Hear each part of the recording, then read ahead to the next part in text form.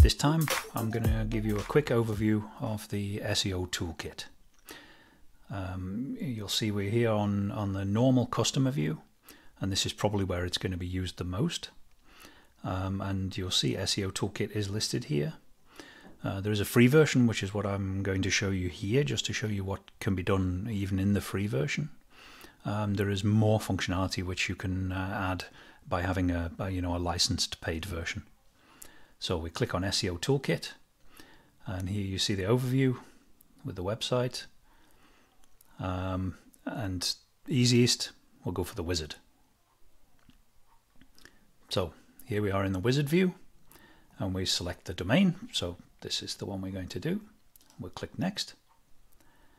Okay and it's saying what it's going to do and it is uh, now checking doing a site audit. It'll do a log file analysis. It'll do a ranking tracker uh, to see but there aren't any um, keywords added yet so we shall see. So we click next. And now it wants us to add keywords.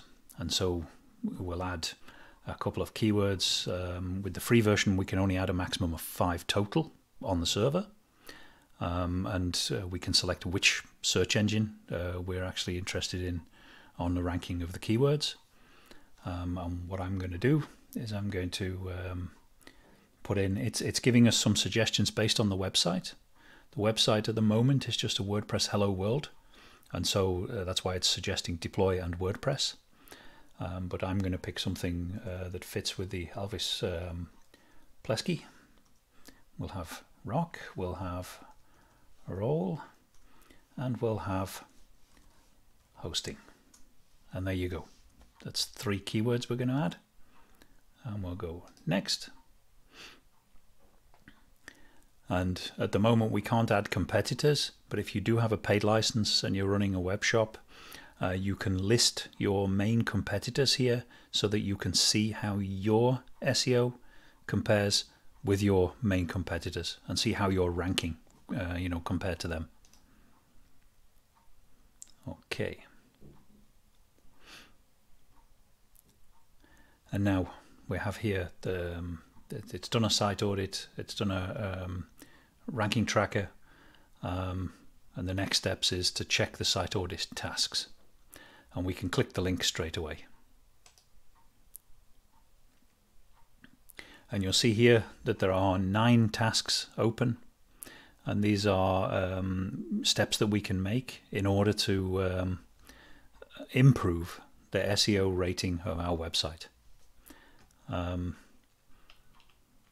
and if you if you see here that there are um, you know very detailed instructions of exactly what you should be doing, and uh, once you've done this, you can then click on Set Done, and that the task is then done.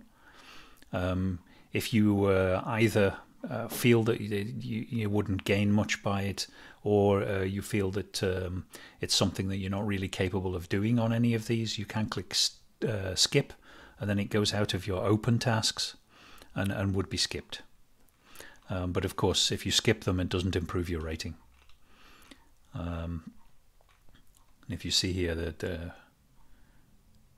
there are currently three open uh, new, new tasks.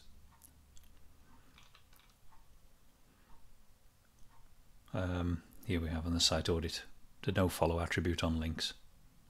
Should be removed or adding meta names or enabling compression integrating Google Maps on the contact page. Uh, that's always a good one if you have a physical uh, location. Um, you know, and deleting meta keywords is also good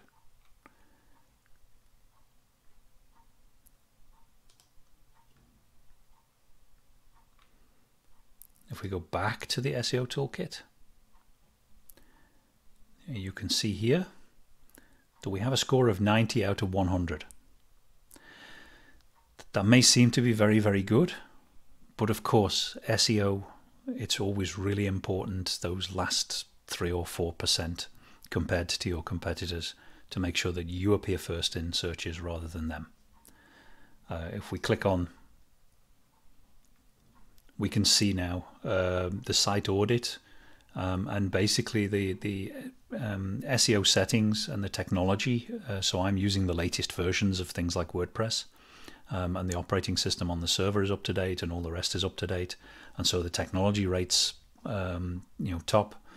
The SEO itself is also fine, but my content needs work, and that's what those nine tasks will actually um, deal with, is um, improving the content to make the website um, more findable on the network. And uh, you know, here meta description missing, duplicate content. That's okay. Uh, duplicate titles is okay. We're, we're not we're not having any uh, real problems here, but you can see here that because the meta description is missing, I've got an X there. And if I click that, I actually get more information and some instructions. So it's not too difficult for you to use, even if you don't really know everything about SEO, you can still improve your page's ranking quite a lot. So anyway, that's it for the moment. Um, so thank you for watching. Um, I hope that was helpful, and please remember to check out the other videos that we uh, we have in this uh, this uh, particular series. Thank you very much.